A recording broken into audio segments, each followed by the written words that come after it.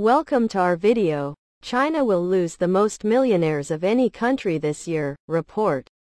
I would like to focus on the commentary in HenleyGlobal.com, the 14th of June 2023, by Justin Ray. China is expected to see the biggest net loss of millionaires globally this year as its economy continues to contract, a new report suggests. The country will lose 13,500 high net worth individuals, HNWI, with investable wealth exceeding $1 million in 2023, according to the report compiled by Henley and Partners released Tuesday. The country expected to see the second most departures of HNWIs was India, with an anticipated exodus of 6,500, followed by the UK in third with 3,200. President Xi Jinping's recent common prosperity crackdowns may be the motivation behind the expatriation of entrepreneurs in China. A senior China economic official late last year explained that the term meant expanding the pie and dividing the pie, and he emphasized that the government will not kill the rich to help the poor. Nevertheless, the wealthy have been flocking to Singapore or setting up backup plans, according to Bloomberg.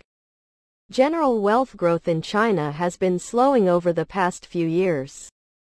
Which means that the recent outflows could be more damaging than usual. Andrew Amoils, head of research at wealth intelligence firm New World Wealth, said in the report. He added that while the country has seen its economy show substantial growth from 2000 to 2017, that expansion has not been accompanied by an increase in wealthy people. China's prolonged COVID restrictions have also been cited as a potential reason for wealthy people leaving the country. Dropping its zero COVID policy appears to have caused notable benefits for China's economy. The luxury industry has seen sales increase faster than the country's overall economy.